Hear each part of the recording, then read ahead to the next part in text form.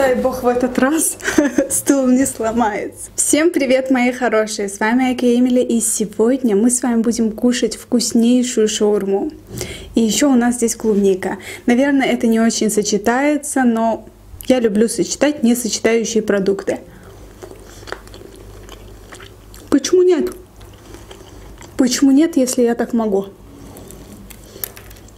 Бабушка сейчас прям подняла мне настроение. Разговаривает она с моим братом. Брат говорит о том, что у него нету кошелька, надо купить кошелек.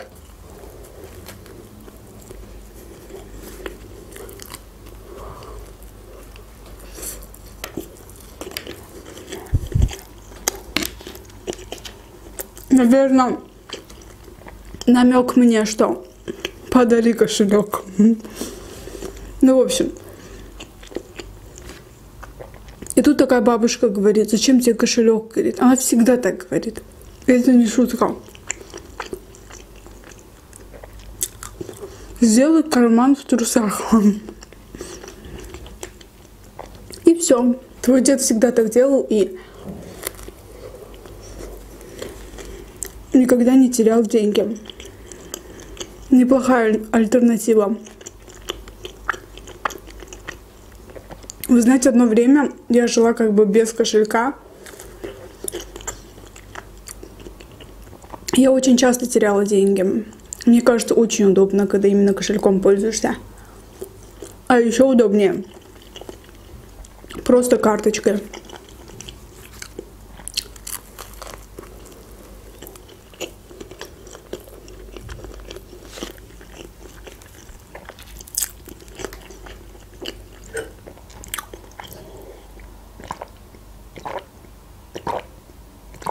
Так как доставку сделали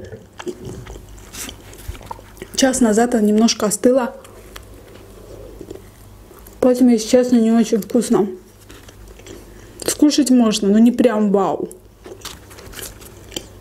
А я люблю, когда вау. Вот бургеры, это был просто космос. Я сижу прям в темноте, смотрю на камеру так светло, это все из-за режима. Клевый режим. Интересный вопрос. Твой парень делает ли тебе подарки без причин? К сожалению, нет.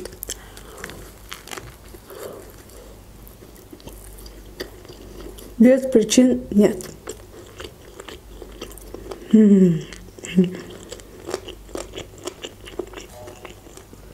Ну, я, например, такой человек, я могу подарить просто так что-то. Своему брату, своей маме. Например, брату что-то нужно, я могу спокойно отправить ему деньги, переслать ему на карточку, мне не жалко.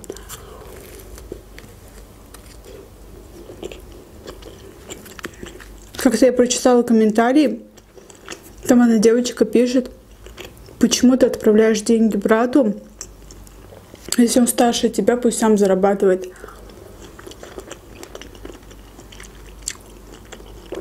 Вы знаете, не все можно рассказать в видео. Есть какие-то моменты, которые ты не можешь рассказать. Может, человек болеет, может, он не способен работать и так далее, понимаете? Все вот прям раскрыть душу и рассказать все не получается.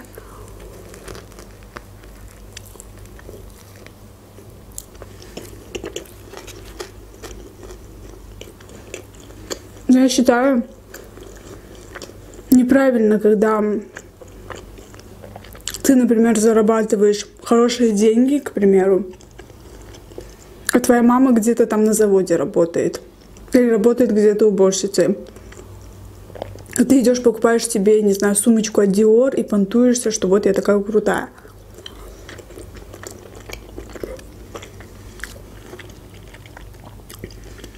Поэтому мне как бы не жалко.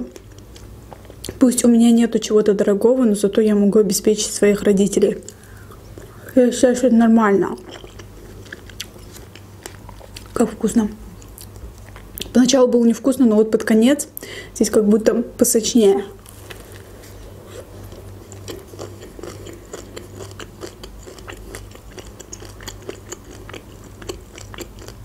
У нас в универе был парень, он знает пять языков идеально. Просто благодаря интернету, благодаря Ютубу он просто сделал себе базу из слов, а потом уже потихоньку ходил на Conversation Club.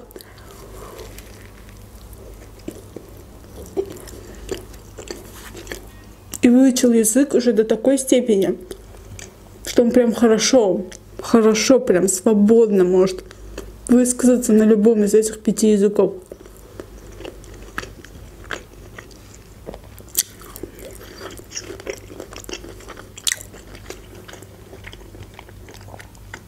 Что, ребят, работает в посольстве. Честно, никогда не завидую таким людям. Но я всегда ставлю таких людей себе в пример. Хоть и я не иду по его, как бы, по его шагам, все равно мне нравятся люди, которые в раннем возрасте чего-то добились. Я вдохновляюсь такими людьми.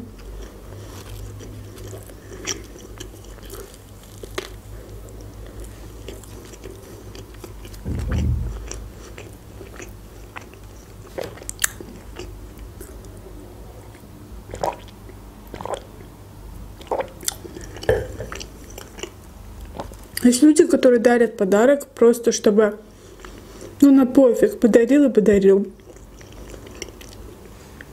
А есть тех людей, которые именно хотят угодить.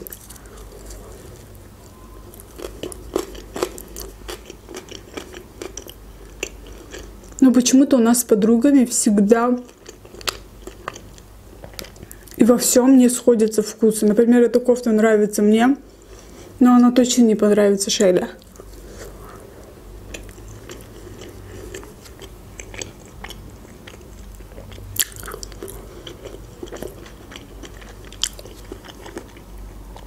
Поэтому немножко тяжело выбирать что-то.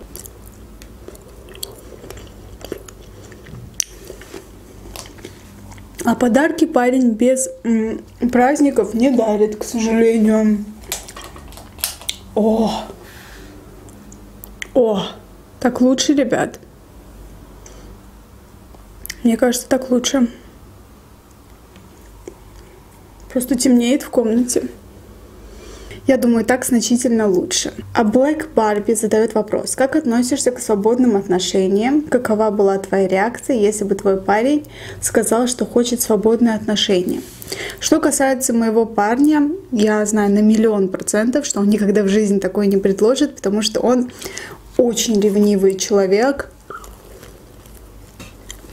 Очень. Я думаю, что свободные отношения — это бред.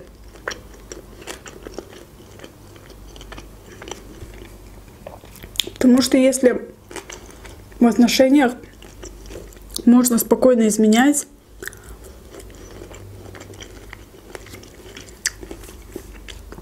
это уже не отношения.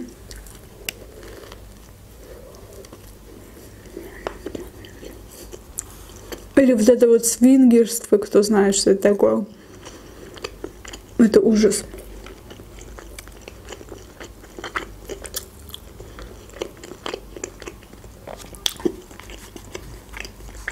Кто не знает, посмотрите в интернете, это ужас.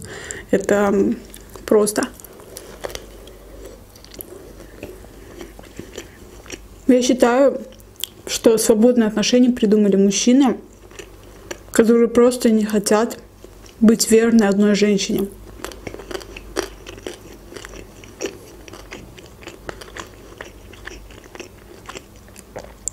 Я думаю, что это бред. Нету никакого смысла, я думаю, в таких отношениях. Я бы не хотела. Если мой парень предложил мне такое, я бы попрощалась бы с ним. Просто.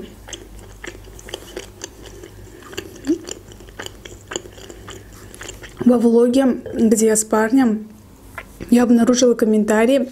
Девочки писали, что видно, что Айка счастлива, тыры-пыры.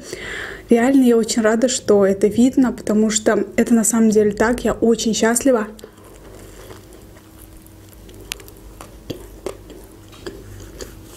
Мне прям хочется кричать о своих чувствах. Хочется всем рассказывать про них. Может, кому-то даже не интересно.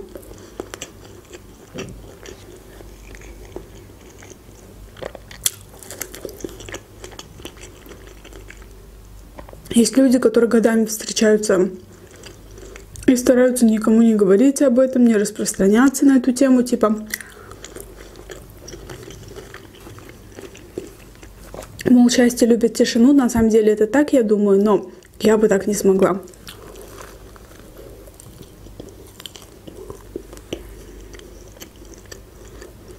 Кое-что я стараюсь и с мамой делиться, не знаю, советоваться в чем-то.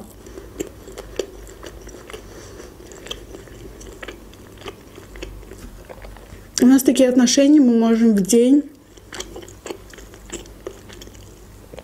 по 20 раз писать друг другу, что мы скучаем, например. И никому не надоедает это.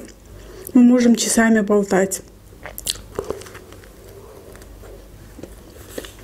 Но вы знаете, это больше его инициатива. У меня так как много работы, он, по идее, ничем не занимается, не работает, не учится, у него очень много свободного времени, и понятное дело, что он хочет со мной разговаривать, общаться, болтать часами. Я бы с удовольствием. Но, к сожалению, я не могу себе это позволить, потому что у меня работа, у меня YouTube, у меня iCook. У меня ТикТок. Вот я влоги снимаю, не знаю, ну нет у меня времени, потому что монтаж, не знаю, нужно теги написать, нужно выложить, сделать обложку и так далее.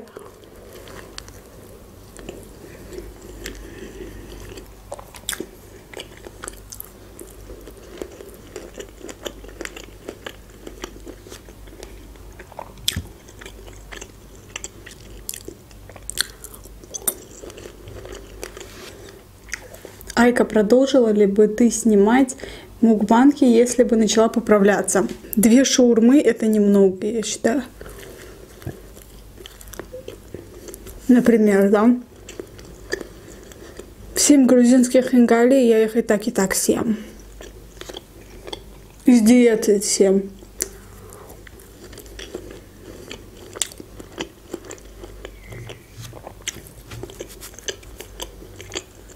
Я думаю просто, я буду снимать утром один мукбанг. И на этом, в общем говоря, все. Просто как-то, наверное, меньше бы снимала, но все равно продолжала.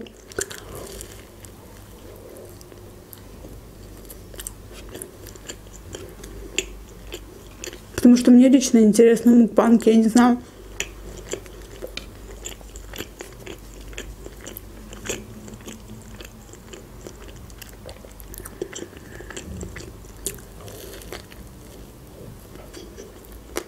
Я однажды похудела на 13 килограмм.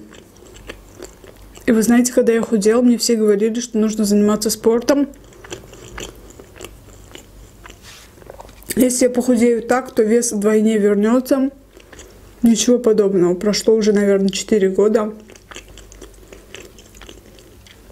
Вес не то, что вернулся, я просто стала склонна к худобе. Я ем чуть меньше и все, начинаю худеть. Это круто.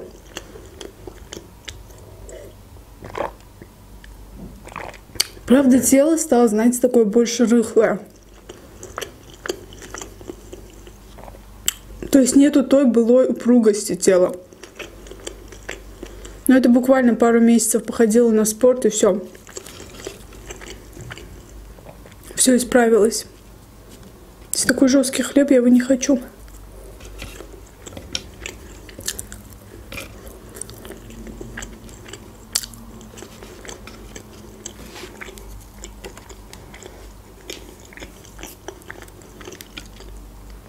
Но я думаю, что мукбанки я бы в любом случае продолжила снимать. Просто объем еды уменьшились, вот и все.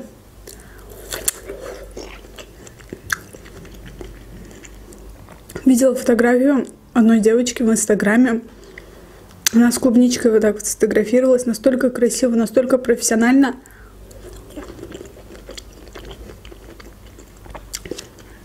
Как-то сидела я, решила сделать такую же фотографию просто с апельсином. Вы бы видели, что у меня получилось. Это ужас какой-то. Хотя вроде у меня камера профессиональная, свет я тоже настроила, но это просто был бред. Наверное, я просто не умею хорошо редактировать фотографии. Вот в чем заключается моя ошибка. В общем, на этом все. Если вам понравилось это видео, то ставьте лайки, подписывайтесь на мой канал. Всем желаю удачного дня. Пока.